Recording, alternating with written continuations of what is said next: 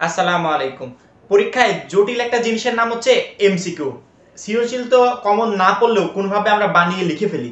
কিন্তু এমসিকিউ বানিয়ে লেখা কোনোভাবে কি সম্ভব? তবে এমসিকিউ বানিয়ে লেখা সম্ভব না হলেও কিছু টেকনিক যদি আমরা ফলো করি এমসিকিউ পরীক্ষায় কমন না আসলেও সেক্ষেত্রে আমরা সুন্দরভাবে এমসিকিউ গুলো অ্যান্সার করতে পারব। এখন দেখো বোর্ড থেকে আমি জানি না কীভাবে এই রুলসটা তারা করেছে, আদৌ তারা নিজেদের উপর টেস্ট করেছে না রুলসটা কারণ হচ্ছে, আমাদের পরীক্ষায় আমরা জানি যে সাধারণত তিরিশটা এমসিকিউ আসে। তিরিশটা এমসিকিউর জন্য ত্রিশ মিনিট সময় দেওয়া হয়েছে। এখন এই তিরিশ মিনিটের ভিতর তিরিশটা এমসিকিউ আমাদেরকে অ্যান্সার করতে হবে। এখন তিরিশটা এমসিকিউ যদি আমরা তিরিশ মিনিটের ভিতর অ্যান্সার করতে যাই, যদি আমরা পরপর প্রত্যেকটা একটার পর একটা, একটার পর একটা সবগুলো যদি আমাদের কমন আসে, যদি লিখতে যাই, তাও মনে হয় যে ত্রিশ মিনিট সময় আমাদের লেগে যাবে। এইখানে আমাদের ভেবে লেখা বা আমাদের চিন্তা করা যে কোনটা হবে কনফিউশন নিয়ে একটু ভাবা, পাশে কাউকে জিজ্ঞেস করা এরকম তো কোনো অপশনই নেই। কারণ এইগুলা যারাই করতে যাবে, তারাই দেখবে যে লাস্টে সময় আছে এক মিনিট এমসিকিউ এদিকে দশটা পরে আছে, দাগানোই হয়নি। তখন কি করবে? ওই দশটা, আনুমানিক যেটা সেটা দশটা তাড়াহুড়ো করে দাগিয়ে দিবে। অনেকে পাঁচটা বাদই রেখে দেয়, অনেকে দাগাই না, এরকম হয়। তো এরকম যারা করে, তাদের পরীক্ষা কিন্তু কখনোই ভালো হয় না। কারণ আনুমানিক এমসিকিউ দাগালে সে এমসিকিউ কখনো সঠিক হয় না। কিন্তু আমি আজকে তোমাদেরকে বলে দিব যে এমসিকিউ পরীক্ষায় কীভাবে তুমি এমসিকিউ গুলো প্রথম থেকে শেষ পর্যন্ত পুরো 30টা মিনিট তুমি কীভাবে এমসিকিউ গুলো একের পর এক সুন্দরভাবে দাগিয়ে যাবে এবং লাস্টে তোমার দুই থেকে তিন মিনিট সময় আরও বেঁচে থাকবে। তো অবশ্যই বলব যে ভিডিওটা খুবই গুরুত্বপূর্ণ হতে চলেছে। অবশ্যই না টেনে প্রথম থেকে শেষ পর্যন্ত দেখার চেষ্টা করবে এবং নতুন হয়ে থাকলে চ্যানেলটা অবশ্যই সাবস্ক্রাইব করে পাশে বেল আইকনটাতে ক্লিক করে রাখব। তো দেখো, প্রথম কথা হচ্ছে এমসিকিউ দেখানোর সময় আমাদের প্রথমত টাইমের দিকে খেয়াল রাখতে হবে।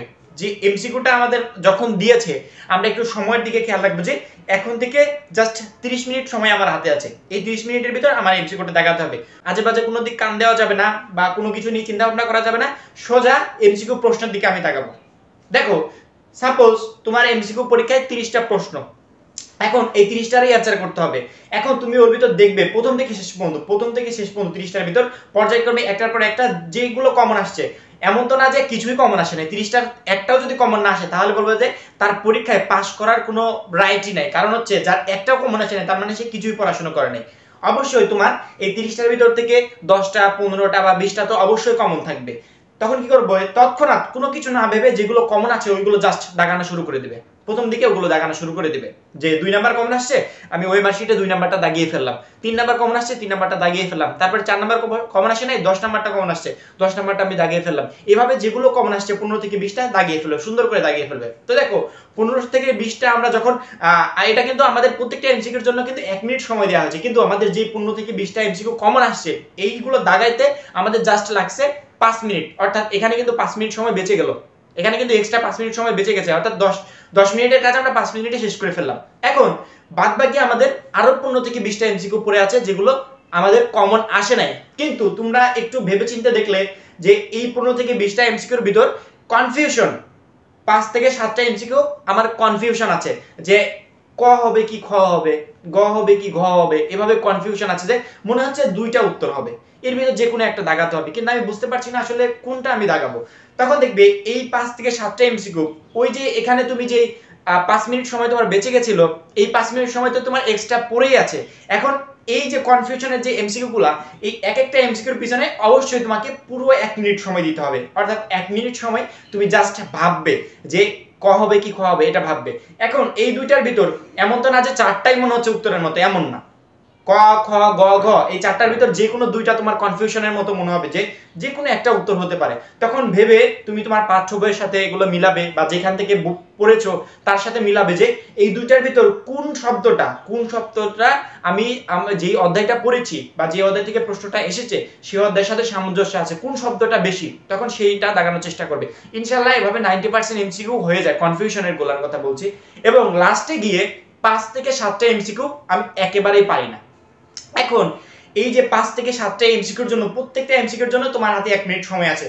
সাত সাত মিনিট, সাতটা এমসিকিউর জন্য বা পাঁচটা এমসিকিউর জন্য সাত মিনিট তোমার সময় আছে। আবার ওইদিকে পাঁচ মিনিট পরে আছে, সাত পাঁচ বারো মিনিট, অর্থাৎ পাঁচটা বা সাতটা এমসিকিউর জন্য তুমি হাতে পাচ্ছ সময় বারো মিনিট। এই বারো মিনিট সময় তুমি ভাবতে পারবে বা আশেপাশে তুমি কাউকে জিজ্ঞেস করতে পারবে, তোমার বন্ধু বান্ধব যারা তোমার সামনে আছে বা পিছনে আছে, তাদেরকে একটু, তাদের সাথে একটু ডিসকাস করতে পারবে যে এই এমসিকিউ গুলো অ্যান্সার তারা জানে কিনা, তারা কোনোভাবে এগুলোর উত্তর পারবে কিনা, তারা দাগিয়েছে কিনা, তাদের সাথে একটু ডিসকাস করলে।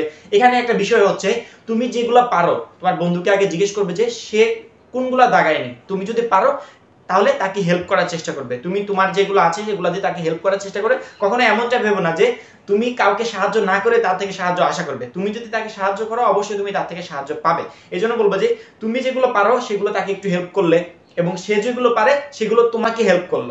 এভাবে তোমরা পুরো তিরিশটা এমসিকিউর অ্যান্সার সুন্দরভাবে করতে পারবে। এবং এমন আর কারোরই হবে না যে সময় চলে গেছে কিন্তু এমসিকিউ দাগানো হয়নি, পড়ে আছে। লাস্টে গিয়ে আন্দাজে তাড়াহুড়ো করে দাগিয়ে দিলাম। আমার মনে হয় আমি প্রথম থেকে শেষ পর্যন্ত সুন্দরভাবে যেভাবে তোমাদের এমসিকিউ দাগানোর টেকনিকটা দেখিয়ে দিলাম, এই টেকনিক যদি পরীক্ষায় কেউ অ্যাপ্লাই করো, আমার মনে হয় যে এমসিকিউ তিরিশ মিনিটের ভিতর তোমাদের পঁচিশ মিনিটের ভিতর সবগুলো এমসিকিউ দাগানো হয়ে যাবে এবং লাস্টে গিয়ে দেখবে দুই থেকে তিন মিনিট সময় বেঁচে আছে।